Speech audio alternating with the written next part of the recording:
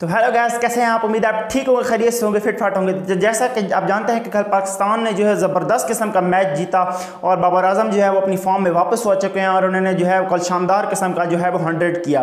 तो इसी तरह उस मैच के दौरान काफ़ी सारे मतलब एक मैच था और पता नहीं कितने रिकॉर्ड रिकॉर्ड जो हैं वो टूटे हैं और नए रिकॉर्ड जो हैं बने हैं। तो आज उन्हीं पर बात करते हैं। सबसे पहला रिकॉर्ड ये बना है कि पाकिस्तान क्रिकेट टीम जो है वो वाहिद दुनिया की टीम है जिसने दो सौ रन मतलब चेज़ किए हैं और वो भी ओपनिंग पार्टनरशिप पर अभी तक तक कोई भी मतलब क्रिकेट टीम ऐसी नहीं है जिसने जो है वो ओपनिंग पार्टनरशिप पे जो है वो 200 रन से ऊपर जो है वो टारगेट अचीव किया हो। उसके बाद बाबर आज़म और रिजवान की जो जोड़ी है, उसने सातवीं दफ़ा जो है, वो सौवीं पार्टनरशिप की है मतलब सौ हंड्रेड रन की पार्टनरशिप है और चौथी पार्टनरशिप है जो उन्होंने चेजिंग के दौरान हंड्रेड रन की की है। इसके अलावा उनकी फिफ्टी रन की जो पार्टनरशिप है, वो तो काफ़ी ज़्यादा है। मतलब ये भी पाकिस्तान की वाद टीम है जिसने चेजिंग में जो है हंड्रेड रन की ओपनिंग पार्टनरशिप की हो।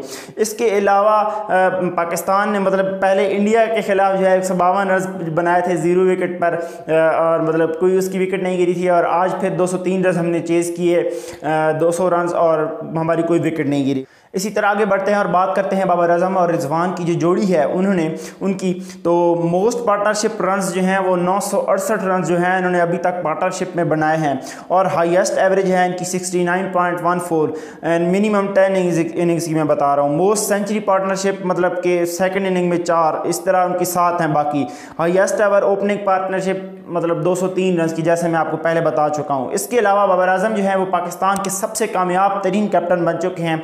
तो उन्होंने जो है सैंतालीस मैचेस में जो है पाकिस्तान के लिए तीस मैच जो है वो जीते हैं। तो वो पाकिस्तान के सबसे सक्सेसफुल टी ट्वेंटी आई के कैप्टन बन चुके हैं। इससे पहले सरफराज थे तो उन्होंने जो है वो उनतीस मैचेस जो है वो पाकिस्तान के लिए एज ए कैप्टन जीते थे। इसी तरह जो बाबर आज़म है, वो पाकिस्तान के सबसे ज़्यादा एज ए कैप्टन इंटरनेशनल जो है वो मतलब कि सेंचुरियाँ बनाने वाले कैप्टन बन चुके हैं। उन्होंने जो है वो दस सेंचुरियाँ बनाई हैं, वो भी चौरासी इनिंग्स में। उसके बाद थे, मिसबाउल हक थे, उन्होंने जो है एक से इकतीस मैचेस में जो है वो नौ सेंचुरियाँ बनाई थी।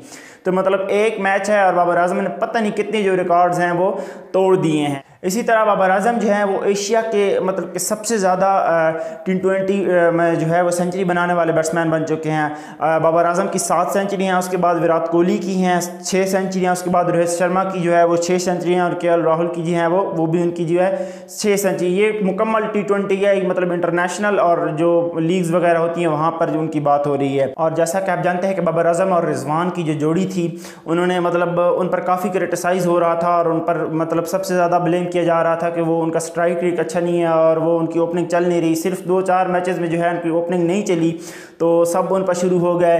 कह रहे थे कि बाबर आज़म को जो है वो वन डाउन आना चाहिए, उनकी ओपनिंग नहीं होनी चाहिए। इसके अलावा मतलब अभी आप देखें, इसके सब जो है वो आज तारीफ़ें कर रहे हैं खुल के। मोइन अली कह रहे थे कि मुझे तो कहीं पर भी जो है वो उनकी स्ट्राइक रेट का मसला जो है वो नज़र नहीं आया।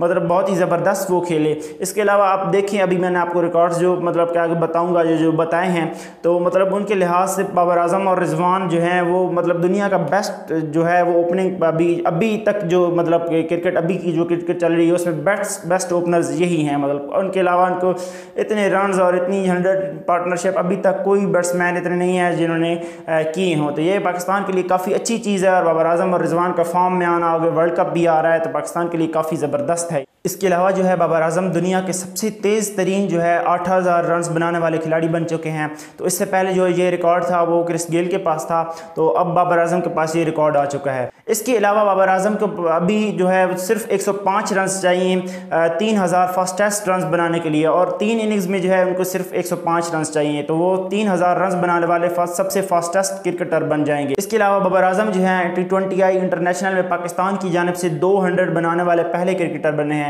मतलब इससे पहले अहमद शहजाद, मोहम्मद रिजवान और बाबर आज़म की एक एक सेंचुरियाँ थी, लेकिन अब जो है वो उन्होंने दो सेंचुरी बनाई हैं तो मतलब पाकिस्तान की टीम के वो सबसे ज़्यादा T twenty I international cricket में सेंचुरी बनाने वाले प्लेयर बन चुके हैं।